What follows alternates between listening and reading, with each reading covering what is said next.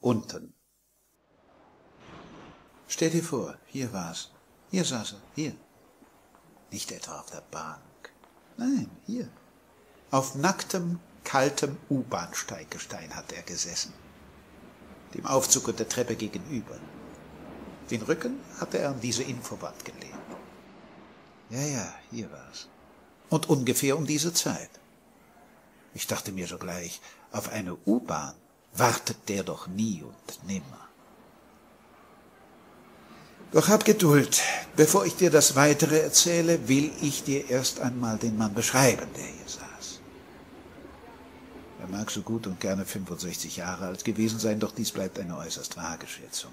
Zieh fünf, sechs Jahre ab von mir aus, oder zähle fünf hinzu. Sein Haar in jedem Falle war ergraut. Lang, üppig und verfilzt hing es herunter, und keiner, der den Mann besah, vermochte sich des Eindruckes erwehren, das Leben in dem Schopfe eingenistet steckte und gedieh. Denn bald schon fuhr der alte Mann mit aufgedunsener rechter Hand, die nicht nur dreckig, sondern übersät mit Schwielen, Warzen, Blasen war, hinauf zum Kopf und kratzte derb, so dass er, unwillkürlich ob dieses juckreizstillenden Effektes, grinsen musste. Zahnlos, breit, und ich entsinne mich, die nimmermüden Hände kratzten auch im Bart, der voll und wirr gewachsen Wangen, Kinn und Hals verbarg. Die übrigen Gesichtspartien waren alles andere als schön. Die Stirn vernarbt und voll von Grind, die Nase durch diverse Nasenbeinfrakturen platt und krumm, nur seine Augen waren groß und klar und blickten lebhaft forschend in die Welt. Ich brauche dir nicht zu sagen, dass dieser Mensch bekleidet war mit etwas, das Bezeichnungen wie Parker, Hose oder Hemd kaum mehr verdiente. So löchrig, eingerissen und verdreckt war alles, was er trug. Kurz, es waren Lumpen nur. Die Füße, durch dem er aufgequollen hatten, keine Schuhe. Dafür jedoch waren Fetzen irgendeines Leinentuchs um sie herum so ungeschickt gebunden, dass sie nur ungenügend jene Wunden bargen, aus denen es serös und eitrig troff auch wenn er ziemlich abseits saß, so hatte sich doch bald ein Pulk von Wartenden um ihn herum versammelt, natürlich in gehörigem Abstand, nur um zu erforschen, woher es stammt, das äußerst penetrante olfaktorische Gemisch aus Kot, Schweiß, Dreck, Urin, das mittlerweile schon den halben Bahnsteig überzogen hatte. Der Mann hinwiederum war der Betrachtung längst gewahr geworden, doch tut er so, als wäre er allein und würdig die, die angewidert gaffen, nicht auch nur eines Blicks. Er gibt sogar ein Schauspiel ganz besonderer Art, als habe er es geradezu darauf abgesehen, den Ekel desto mehr noch zu erregen. Denn was macht er? Er wickelt ganz bedächtig von den plumpen Füßen jene Leinenfetzen ab, besieht sich seine Zehen und die Nägel, diese hatten sich im Lauf der Jahre ungeschnitten so gekrümmt, dass ihre Spitzen sich nunmehr ins Fleisch der Zehenballen bohrten. Schon inspiziert er seine Fersen, so gut es eben geht, befingert an den Knöcheln dann die nässende, gespannte Haut, pult an den Waden dick verscharftes ab und schnippt es weg, um dann erneut die Füße mit den Leinenfetzern zu bewickeln und ein Paketband derart fest um den Verband zu zurren, dass vorerst nichts verrutschen kann. Kaum ist dies Wickelwerk vollbracht, klaubt er Kopfhörer aus der Parker-Innentasche vor und stülpt sie auf und Augen zu, sofort gerät Bewegung in den Oberkörper.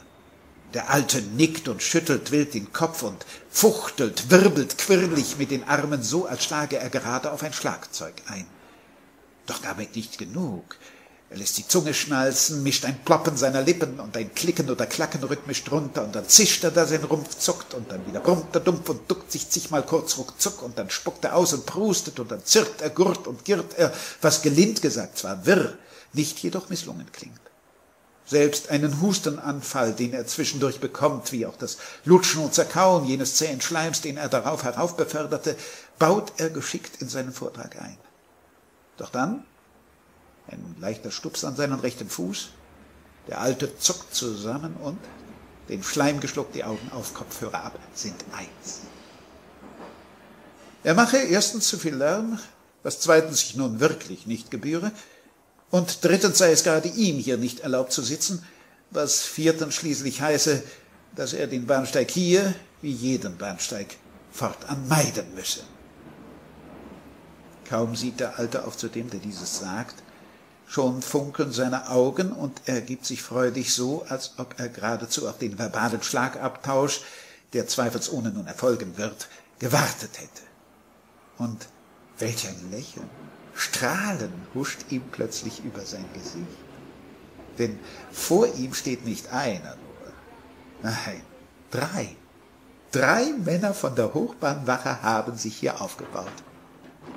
Sie sind gleich groß, breitschultrig alle drei und, was die Kleidung anbelangt, tipptopp, wie aus dem Ei gepellt.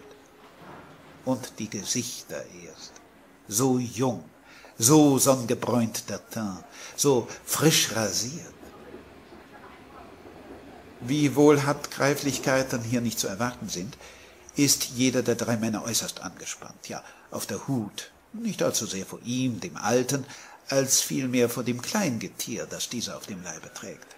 Und Hand aufs Herz, wer möchte denn schon gerne Flöhe haben? Läuse oder Krätze? Und dass die rechte Hand des Alten plötzlich in den Schritt fährt, weil's dort juckt, die linke in die rechte Achselhöhle, weil's dort beißt und zwickt, ist doch wohl Grund genug, auch gleich mit Einmalhandschuhen aufzuwarten. Die Beine leicht gespreizt, die Arme vor der Brust verschränkt, so stehen sie gebieterisch und zeigen damit einmal mehr, dass sie sehr wohl gewillt sind, hier das Hausrecht vollends wahrzunehmen. Der Alte sucht indes zu diskutieren, mit einem Lächeln mildes Walten zu erbittern. Da dies nicht fruchte, tut er so, als ob er nichts verstehe, dann wieder so, als ob er in den Taschen nach einem Fahrschein suche, einem Ausweis, was weiß ich. Und plötzlich hat er einen 100-Euro-Schein in seiner Hand und hält ihn wedelnd hoch, so dass es alle sehen, ruft triumphierend, dass er zahlen könne und auch zahlen werde. Doch zeige sich wie stets, dass man ihn hier so wenig dulden wolle wie überall auf dieser Welt und dass es ja Methode habe, so gegen ihn wie gegen alle Werber vorzugehen. So jedenfalls der Sinn der Worte, wenn man von jenen Flüchen absieht, die er zudem in seine Rede flocht.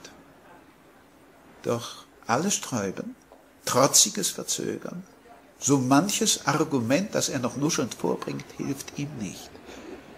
Die Herren von der Hochbahnwache lassen keinen auch noch so leisen Zweifel an dem Ernst der Lage zu. Er müsse endlich sich bequemen aufzustehen. Sie würden ihn dann schon geleiten auf dem Weg nach oben, ihm selbstverständlich helfen, so es ihnen möglich sei. Doch käme er nicht unverzüglich dieser Personalanweisung nach, Sie hätte noch ganz andere Mittel, sich hier durchzusetzen. Sie sagen dies sehr ruhig, freundlich, doch bestimmt. Und jede ihrer Gäste unterstreicht, dass, was hier angedroht wird, werde, wenn es tatsächlich hart auf hart kommt, auch getan. Da hilft es nichts. Der Alte muss sich fügen. So steht er auf und ordnet fahrig seine Lumpenkleider, verstaut Kopfhörer und den 100-Euro-Schein in einer seiner Parkertaschen und humpelt dann der Treppe zu. Sich haltend am Geländer, klimmt er die Stufen unter größter Kraftanstrengung hoch, und während er noch mühsam aufsteigt, begleitet von den Dreien, der eine ihm voran, die beiden anderen gleich auf hinter ihm.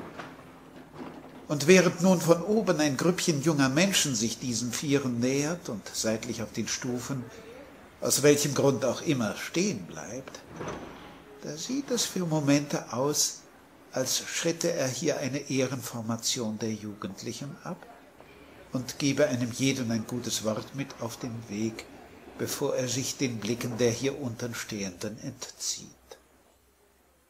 Ja, ja, so war's. Doch wenn du glaubst, es gebe nichts hinzuzufügen, dann irrst du dich. Denn eine Nachricht über diesen Alten, auf die ich nur zwei Tage später und durch einen Zufall stieß, erscheint klischeehaft und banal, wenn man sie liest. doch will ich sie dir keineswegs hier vorenthalten. Er habe sich in Bahnhofsnähe des Öftern rumgetrieben, so ähnlich stand's im Abendblatt, ich glaub auch in der Morgenpost geschrieben. In jeder Nacht noch hatte man ihn nämlich auf dem Steintordamm, nicht unweit der Pissoir-Rotunde, in einer Lache aus Urin und Blut, Blut überströmt, tot aufgefunden. Er sei erschlagen worden, hieß es, und um das wenige, das er besaß, gebracht. Dank eines Augenzeugen habe man doch noch in selber Nacht, die Tat war nicht einmal zwei Stunden her, den Täter, einen jungen Mann, der kurz zuvor aus einer Haftanstalt entlassen worden sei, bei dem Versuch, Kopfhörer zu verkaufen, überraschend schnell gefasst. Bild macht groß auf und titelt noch zwei Wochen später Ungeziefer überführte Täter.